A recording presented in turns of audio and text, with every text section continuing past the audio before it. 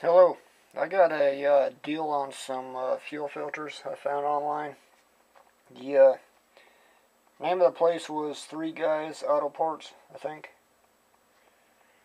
And uh, these uh, little fuel filters, I can clog them up and uh, I'll put as many as six on in the same day. And I figured out how to wash them out. But I run into this deal it was such a good deal it actually beat the uh, local auto parts store on them. And I, I, ordered four of them just to see what uh, kind of quality they were, and I, I was pretty impressed. They're, they're, the genuine deal. They're not some aftermarket uh, uh, crappy thing. They're they're, they're a, a, genuine Wix filter.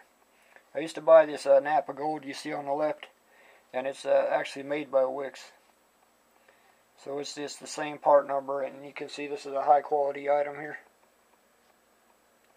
got a strainer screen in there. I figured out that, that you could just uh, fill it half full of uh, fuel, shake it up, and, and blow it out, and most of that crap would come out of there. But with winter coming, uh, it's, it's a good idea to have some spares because the uh, uh, cold weather can clog them up easy if there's a little bit of dirt on them.